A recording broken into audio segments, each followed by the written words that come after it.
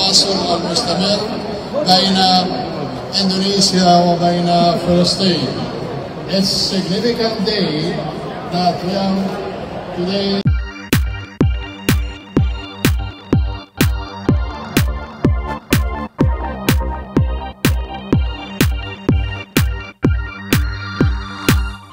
Timnas Indonesia sambut kedatangan timnas sepak bola Palestina di Surabaya. Kedatangan timnas sepak bola Palestina di Indonesia disambut ratusan masyarakat yang menunggunya di Terminal 3 Bandara Internasional Soekarno-Hatta, Tangerang, Banten, Sabtu 10 Juni malam waktu Indonesia Barat. Dalam acara penyambutan, para penggemar membawa bendera Palestina dan Indonesia.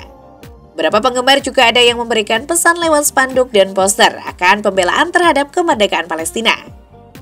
Selain penggemar, kedubes Palestina dan perwakilan PSSI turut menyambut kedatangan timnas Palestina. Gemar juga menyebut timnas sepak bola Palestina dengan nyanyian selamat datang di Indonesia. Para pemain pun membalasnya dengan hangat sambil melayani penggemar yang meminta untuk berfoto. Indonesia akan melawan Palestina dalam pertandingan FIFA Matchday pada 14 Juni 2023 di Stadion Gelora Bung Tomo, Surabaya, Jawa Timur. Pertandingan salah satu yang ditunggu-tunggu oleh pecinta sepak bola dunia. Asalnya, laga ini bukan sekedar pertandingan sepak bola, namun juga menegaskan dukungan Indonesia terhadap kemerdekaan Palestina. Wakil Presiden Asosiasi Sepak Bola Palestina atau PFA, Susan Salabi, menyatakan kedatangan timnas Palestina ke Indonesia bukan hanya sekedar main sepak bola. Terpenting untuk mempererat hubungan kedua negara. Skuad Palestina sudah datang ke tanah air itu untuk melakoni FIFA Matchday melawan timnas Indonesia. Susan Salami mengatakan, tali persaudaraan Palestina dan Indonesia harus terus diperkuat.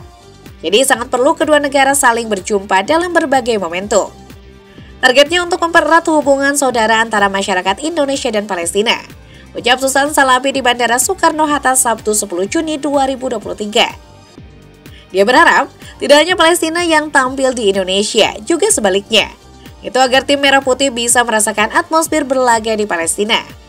Kami berharap ketika suatu saat nanti kamu datang ke Palestina, itu untuk memainkan pertandingan persahabatan juga, insya Allah, ucapnya.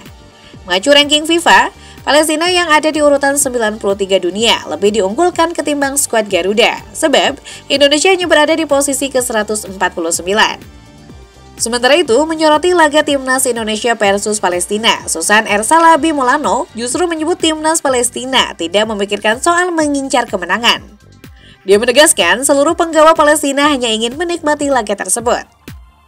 Itulah beberapa informasi yang dapat kami sampaikan hari ini. Untuk update berita selanjutnya, ikuti terus channel ini dengan cara subscribe dan aktifkan notifikasi loncengnya.